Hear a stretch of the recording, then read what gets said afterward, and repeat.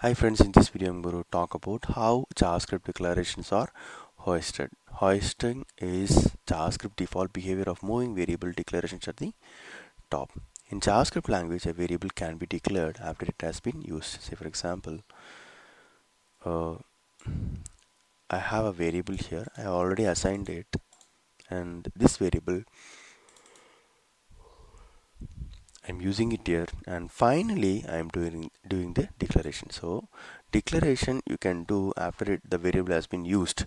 This is, this is called as hoisting and it is possible in JavaScript. Okay let me show you the demo. So I'm going to click on this button. You can see this 100 value has been assigned to a variable and it has been used. After it has been used we are declaring it so we are we have moved the declaration at the end. So it is possible in javascript and we don't get any error at all in this browser page. Okay?